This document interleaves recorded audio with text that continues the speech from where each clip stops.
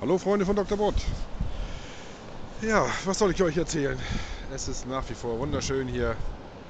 Wir versuchen uns nochmal am Borsmose Strand, wo wir den ersten Tag unsere anderen Kollegen getroffen hatten, wo es recht stürmisch war, recht regnerisch.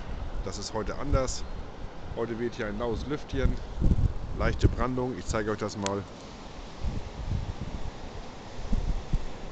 Hoffentlich könnt ihr das auch so sehen.